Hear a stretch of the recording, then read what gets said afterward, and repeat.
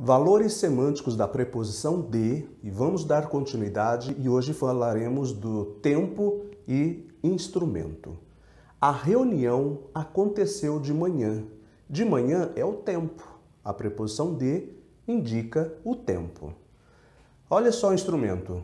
Devia ter feito a barba de gilete. De gilete é o instrumento né, que eu deveria usar para fazer a barba. Então, o início aí de gilete, a preposição de, vai dar o valor semântico de instrumento. Gostou da dica? Marque o seu amigo, siga a gente em nossas redes sociais. Aquele abraço, até mais, tchau, tchau.